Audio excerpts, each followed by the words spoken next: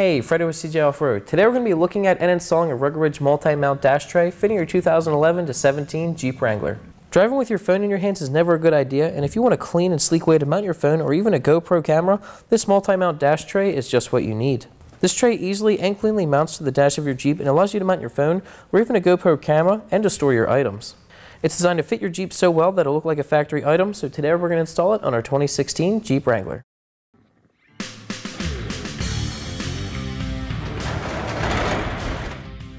Installing this dash tray is pretty easy. Just remove the factory tray that's in the dash. And you're probably not going to be able to see it, but then we have to remove a 7 millimeter screw that's in the center of this hole. It's the only screw down here, so you can't miss it. Then once you remove it, grab the mount. And you're going to put that screw through the hole in the mount. And then reinstall this screw from where you just removed it.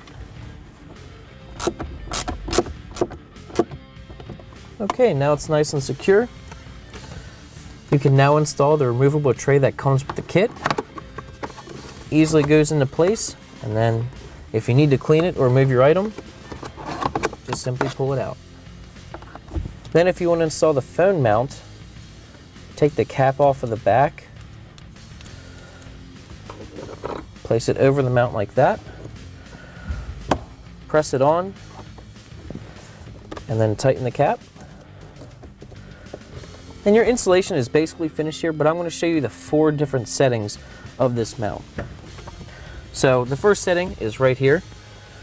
You can have just your phone mounted to this and nothing else.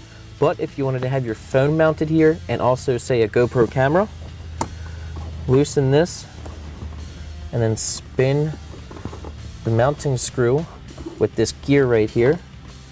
Then remove this plate and with this plate removed you have the tripod screw sticking up and you can mount a camera here while you have your phone mounted.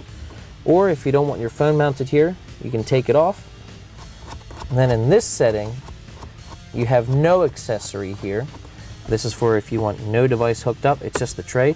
But if you want, say, just a GoPro camera, loosen the screw again, turn this around, and then get the screw through the blank hole. And there you go, you can mount your GoPro there and store your items here. And your installation is finished.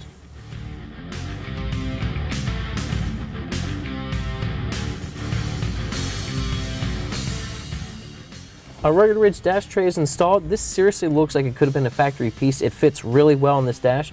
Installation is super easy, maybe five or 10 minutes, and before you know it, you'll be heading off road.